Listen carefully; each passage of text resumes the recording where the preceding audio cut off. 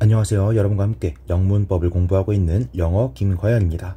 자, 이번 시간에는 389번 퀴즈를 한번 풀어보도록 할 건데요. 일단 영작이 옳지 않은 것은 이라고 되어 있죠. 이런 문제의 경우에는 반드시 반드시 영어 문장만 체크하는 것이 아니라 해석도 같이 체크해야 된다는 점 명심하시면 좋겠습니다. 자, 정답 몇 번이죠? 정답은 1번입니다. 왜 1번이 정답인지 보니까 해석 먼저 보겠습니다. 그 마을에는 관객이 단 한 사람도 오지 않았다라고 되어 있죠. 영어 한번 볼게요. Some tourists 일부 관광객들이 did not come 오지 않았습니다. to the town 그 마을로 that year 그 해에는 이렇게 되어 있죠. 자 보니까 해석만 봤어도 문제를 쉽게 맞히셨을 겁니다. Some tourists did not come이잖아요. 그러면 한 사람도 오지 않은 겁니까? 일부가 오지 않은 겁니까? 일부가 오지 않은 거죠. 만약에 해석과 대응되는 정확한 문장으로 고치려고 한다면 some을 뭐로 바꿔야 돼요? no 정도의 단어로 바꿔야겠죠. 오케이? 어렵지 않죠? 보통은 부정문 관련해서 물어볼 때는 부분 부정과 전체 부정을 시험 문제로 내곤 할 겁니다. 그런데 이 포인트에서도요. 부분 부정은 보통 paraphrase를 some을 사용해서 할 수 있다. 라는 포인트 때문에 이러한 문제를 내본 거고요. 해석을 반드시 확인만 하셔도 문법적 지식 없이도 어, 풀 수 있는 그런 문제였다라고 볼 수 있습니다. 2번 보겠습니다. 나는 양손 모두로 글을 쓸 수 있다.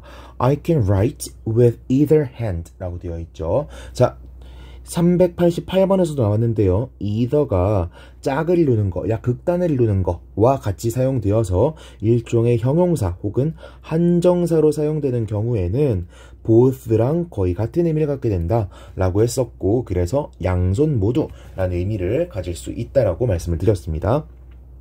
3번으로 넘어가 보면요.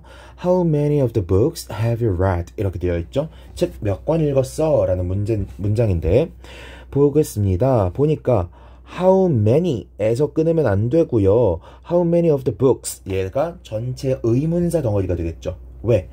how many many가 여기서 대명사로 사용되고 있고 이 명사를 of the books라고 하는 전치사구가 수식하고 있으니까요.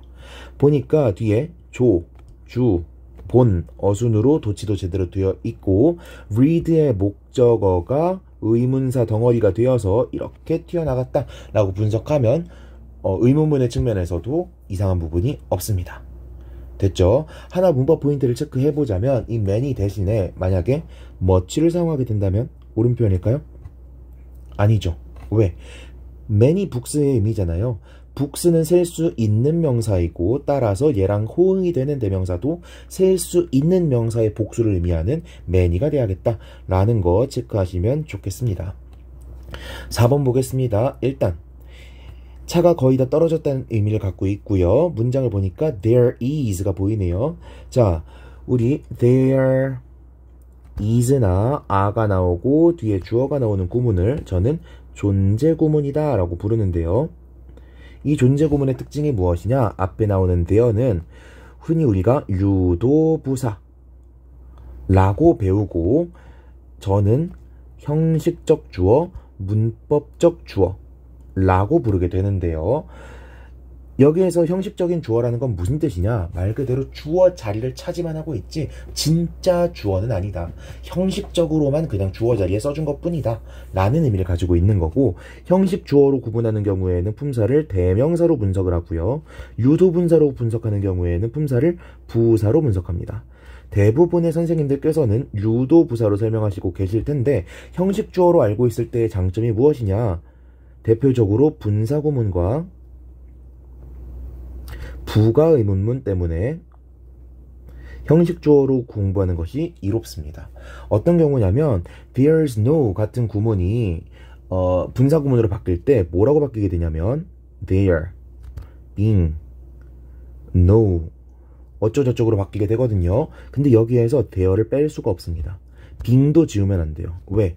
there is라고 하는 특수한 구문이 모모가 존재한다, 모모가 있다라는 의미를 가지고 있는 것인데 개를 분사구문으로 만든 거기 때문에 분사구문의 주어인 대어와 빙을 생략시킬 수가 없습니다. 부가의 문문도 마찬가지예요. There is라고 하는 구문이 쭉 나왔어. 예를 들어서 you can 어쩌고저쩌고 쭉 나오고 나서 쓸, 쓸라 그러면 조동사의 부정형과 대명사를 카피해서 쓰죠. 그래서 can't you 이런 식으로 쓰게 되는데 존재 구문의 주어는 되어라 그랬잖아요. 그러니까 부가문만을 어떻게 써야겠어요? isn't there 이런 식으로 써줘야 됩니다. 아무튼 이러한 특징들 때문에 이 대어는 주어로 분석하는 게 더 타당하겠다라는 입장이 바로 형식 주어로 분석하는 입장인데요. 갑자기 설명이 길어졌죠. 그럼에도 불구하고 그럼에도 불구하고 이 동사의 수일치는 누구랑 시킨다는 게 특징이다. 뒤에 나오는 실질 주어, 논리적 주어, 의미상 주어와 수일치를 시킨다는 게 포인트라고요. 그래서 보니까 hardly any T T 다음에 S 붙었어 안 붙었어? 안 붙었죠. S가 없으니까 얘는 단수 취급이구나.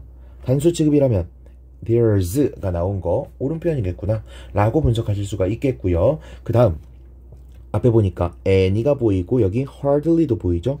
hardly 무슨 뜻이에요? 거의 뭐뭐 않다라는 의미로 hardly는 준 부정어로 구분이 되죠. 그래서 이 준 부정어가 붙은 문장은 부정문으로 취급이 되곤 합니다. 그리고 any라는 단어는 보통 some이라고 하는 단어랑 비교가 되면서 any라고 하는 단어는 부정문, 조건문, 의문문에 종종 출현한다 라고 배우셨을 겁니다. 근데 그러고 보니까 준 부정어인 hardly와 any는 합이 좋네요. 즉 hardly 다음에 any가 나오면서 전혀 없는 것에 가깝다는 의미를 담을 수가 있겠네요. 어렵지 않죠? 거기다가 뒤에 나온 left도 한번 보겠습니다. 여기 left 어떻게 쓰였을까요? 앞에 동사가 이미 있으니 얘는 본동사로 쓰일 수는 없었을 거예요. 그러면 얘는 뭐로 분석해야 돼? 준동사로 분석해야겠죠? 준동사라면 지금 left 골은 반드시 과거 분사 pp라는 거고 그러면 남겨진이라는 의미로 앞에 나온 hardly any t를 꾸며주는 구조로 보면 되겠죠. 그럼 남겨진 차가 거의 없다라는 거니까 위에 해석이랑도 맞네요. 어렵지 않으시죠? 자, 이 문제에 대한 해설입니다. 제가 앞에서 설명드렸던 것들을 전부 다 설명드렸기 때문에 따로 더 말씀드릴 건 없을 것 같은데 포인트 하, 포인트 하나만 더 짚고 넘어가 보자면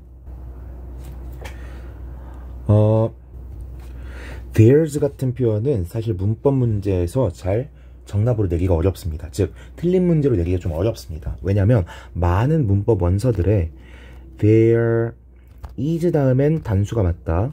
there are 다음엔 복수가 맞다라고 설명하면서도 there is의 줄임말인 there's는 뒤에 단수, 복수를 겸할 수 있다 라고 말하곤 하거든요. 물론 복수가 나오는 경우는 비격식입니다.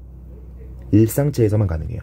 그렇다면 문법 책에서도 복수가 나올 수 있다고 하는데 there's 복수를 틀린 걸로 봐야 되느냐 라고 하는 데는 조금 이견이 있을 수 있고요. 그렇다 보니 there's 다음에 당연히 수를 보시긴 하셔야겠지만 there's 복수를 오답으로 그러니까 틀린 문장으로 출제할 가능성은 별로 없겠다라고 말씀을 드리겠습니다.